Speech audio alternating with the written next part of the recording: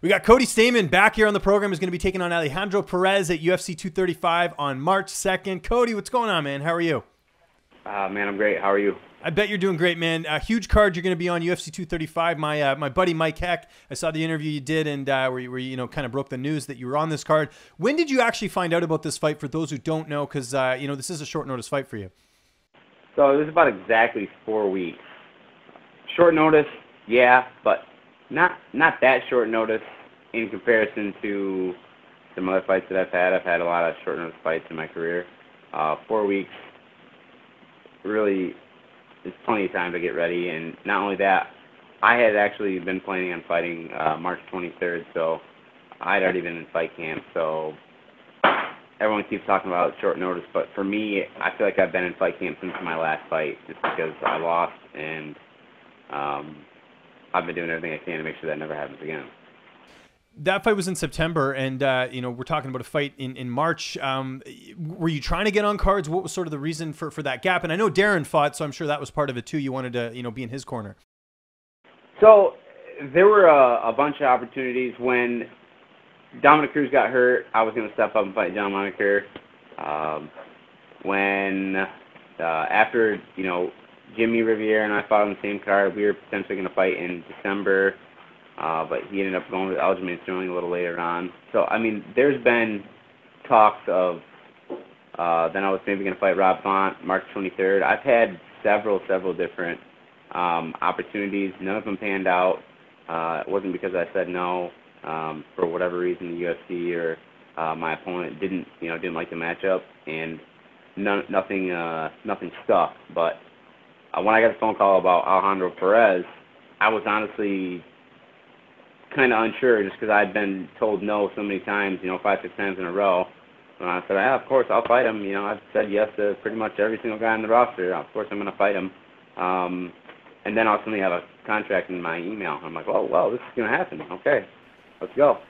Okay. And did you, I mean, when you fought on the regional scene, I mean, uh, did you expect this to, to happen in the UFC where, you know, so many fights would fall through? Because it's common on the regional scene, but in the UFC, it doesn't usually, you, you don't usually have this much bad luck finding an opponent.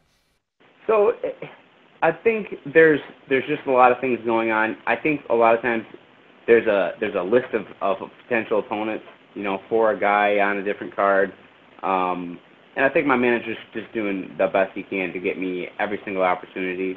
Uh, you know, I might not be the first choice for that fight, but if number one, two, and three say no, uh, I might be the only guy left. So I think he was just trying to, you know, plug me anywhere he could. He know he knew how bad uh, I really wanted to get in there and uh, kind of put the loss behind me. Yeah, and let's talk about that fight against uh, Aljamain Sterling, UFC 228. Uh, this is rare. You know, I, this is the first time you and I have done an interview where we're talking about a, a loss. Um, you know, what what happened in that fight? What did you take away from that performance? Oh, I said I bet I had a bad night. I had a really bad night, and it, this doesn't happen very often. Uh, I've watched that fight, you know, a thousand times, and you know, in conclusion, there were a, a few small mistakes here and there, but in my head, I really just think I had a bad night. I think I I just didn't show up. I didn't do what I've trained to do, what I know I'm capable of doing. Um, you know, my body really wasn't wasn't doing what I wanted, and you know, I shit the bed. Period. I, I I don't I don't have any excuses. I don't really have. I can't blame anyone in my training camp or say I had an injury. I just didn't show up. And, you know, that's the one thing we all talk about. You know, you can be as good as you want in the gym, you can be as well prepared as you want, but, you know, when they shut that cage door, you got to show up. You got to show up 15 minutes or, or less, or, you know, however, however long the fight takes place, you have to be 100% prepared and ready for anything that happens. And I was like a deer in headlights out there.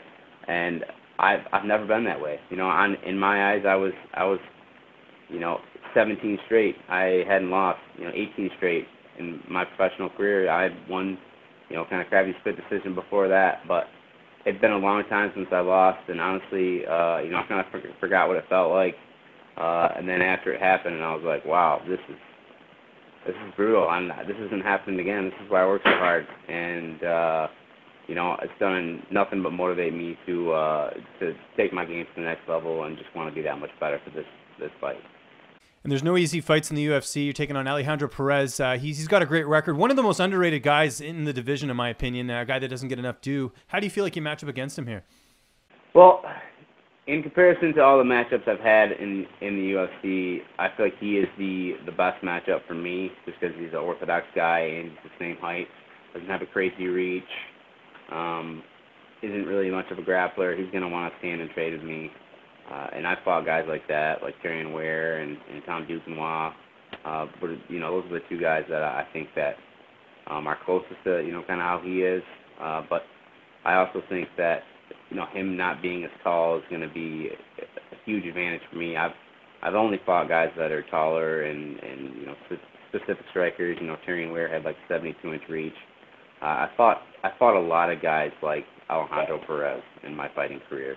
Um, never in the UFC, but those kind of guys outside of the UFC, I have absolutely beat the shit out of them. So uh, I look at Alejandro Perez the exact same way. Um, I think he's really good. I think he does a lot of things really well, but uh, everything he does well, I do a lot better. And not only that, I can take him down whenever I want. I mean, he's got pretty good. He's pretty good at not getting held down. I don't really think this isn't going to be a, a lay and pray thing. Um, but I think at any point in that fight, if I want to pick him up and drop him on his head, I will do it. And uh, you know, I just his striking is pretty one-dimensional. I don't really see. I don't really see any thing that he does that I can't handle. Morale must be pretty good at camp right now. You've got a lot of teammates fighting on that lights out card uh, coming up here pretty soon. Um, does that help heading into this fight? Just having guys also getting ready for fights? Oh, of course, of course. That's why. I mean, that makes it so much so much nicer. Yeah, we got uh, Ken Cross, Chad Decker, and Hassan. They're all fighting uh, this Saturday night uh, for KOP. So, you know, having having a bunch of guys that are kind of in the same place you are, it makes things uh, so much easier. There's more guys in the gym, more guys, uh, different mentality, and that's uh, that's really important when it comes to you know in preparation for a fight. You know, so we'll go Saturday, and this is something that's you know not uncommon for me. Uh, there's been so many times when I like like I would you know go to fights three weekends in a row, and then I would go to my fight, and I like that because it kind of puts me in that in that atmosphere, and I have the you know the right mindset going into uh, going into the cage. How do you see this fight uh, playing out on March 2nd? March 2nd? Well, I really think I'm going to absolutely steamroll uh, Perez. Uh, I don't think there's anything that he can do uh, that I, like I said, I can't handle. There's, I mean, he throws a good low kick. He, he's got got a good stiff jab, uh, but I'm on a different level. I'm on a whole different level than he is, and I'm going to prove that to everybody. Uh, I feel like this is a fight that you know potentially put a lot of eyeballs on me, and and this he's like the perfect matchup. I'm telling you, when I when I got his name, I was uh, you know I didn't want to get too excited, but I was like, this is the guy. This is the guy that I can really put a show on against. You know, because I've had a lot of I fought a lot of weird guys. You know, every single guy I fought has been kind of a a stylistic nightmare for me. Um, and he's the only guy I've ever fought where I'm like, dude, I could really, really put on a sweet show. I mean, I could, I could get a bonus in fight, and that's the kind of fight I, I, I've, I've really been wanting, and just I, I haven't gotten it, and and now everything's finally coming through, and uh, yeah, I look for a highlight. And, and where do you feel like a win over Perez puts you? Does that, in your opinion, get you back in the driver's seat, sort of where on, on the momentum you were going uh, before the loss? I don't really know that. I think anytime you beat someone in the top 15, uh, it makes you it kind of helps build a foundation, you know, for your career. Anytime you beat a guy that's ranked, you know, it definitely is a it's a game changer. Uh, and and I think everyone's eyes it kind of legitimizes you. You know, when I beat Caraway, that was kind of like the fight that kind of cemented me as as someone that's actually a threat in the bantamweight division. Um, so you know, a win over him, that's that's exactly what it does. It just it just puts you know a little bit more concrete on the ground uh, for me. You know, moving forward say like, yeah, this guy's the real deal. Uh, and you know, after Perez, you know, who knows? I mean, I'm there's literally there's literally not a guy on that UFC roster that I won't fight. So, uh, know, I'm ready. I'm ready for Perez and, and anything else UFC wants to throw my way.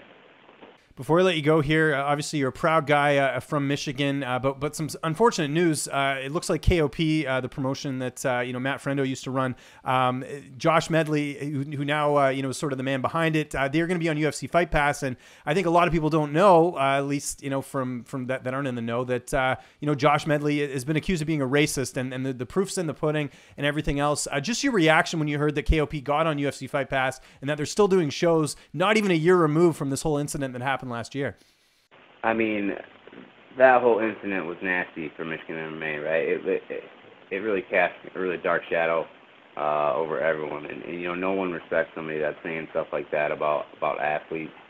Uh, that's, I mean, that's sad. You know, that could easily been, you know, I mean, those guys that he was talking about, these people, these guys are my friends. You know, so obviously I don't have any respect for the guy. You know, seeing seeing what he said, but the fact that he got a UFC Fight Pass, I just don't understand you know, I feel like somebody clearly doesn't know what's going on. You know, I think if uh, if everyone had the facts, uh, you know, that wouldn't be happening. But I don't think that everyone has the facts, and I think there's just a there's a communication gap.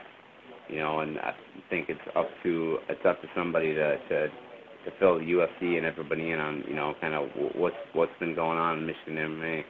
Um, you know, I said it's not like I said, it's, it's not a good it's not a good look. It's not a good look for Michigan MMA. It's not a good look for anybody um, and somebody needs to do something about it. You know, whether that that's me or you or, or anybody. Uh, you know, you you can't you can't do those things and treat people that way and, and still like run a business. That's not that's not how it works.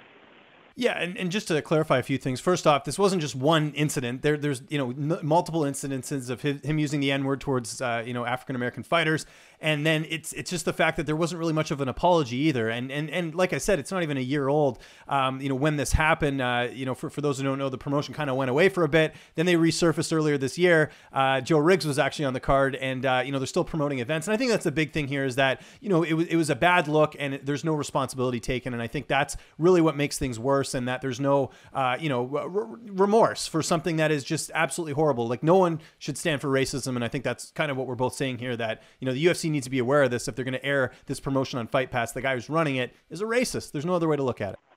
Yeah, I mean, once you well, once you get you get caught saying things like that, I mean, there's really like you, you can't you can't come you can't come back from that. You can't come back in the sport, and you can't. Uh, the the only thing you can do is apologize and repent for the things that you did. You know, he he, he really he didn't. That's the worst thing about it. You should have made it right. You should have confronted those people and been like, listen, I'm a I'm a I'm an idiot. I messed up. You know, I was a I was a I was a lesser man at at these times, and you know, I want to apologize. And he should have done it publicly or uh, privately or however he did. But to the best of my knowledge, he didn't he didn't do that, and that's that makes it even worse. I mean, that makes you a freaking racist and a coward. You know, if you mess up, you gotta you gotta step up and uh, and own those mistakes and and do everything you can to make it right. And not that you really can in this situation, but. Uh, yeah, it's a, it's a shit deal. Good to see your support behind, uh, you know, going against that, Cody. Uh, it's it's great, and uh, we're really looking forward to this card. It's coming up here March second. It is UFC 235. Uh, just remind people where they can find you on social media, and I'm sure you have some sponsors or shoutouts. So the floor is yours. Uh, everything's just Cody Stamann. Uh, yeah, I got to thank uh, you know Ed Knapp, uh, everyone at Iridium Sports, Jason House, uh, Jake, everybody. Uh, those guys are taking care of me. Uh, everyone at Michigan Top Team my teammates, Daron Cruickshank, Caro, everybody's been uh, been just whatever I need for this for this camp. I mean, it's like and feet. I feel like uh, I feel like I might be actually pretty good for some amazing People are, are taking care of me. So uh, yeah, I gotta be. I'm super thankful for everybody uh, that's in my camp, in my corner.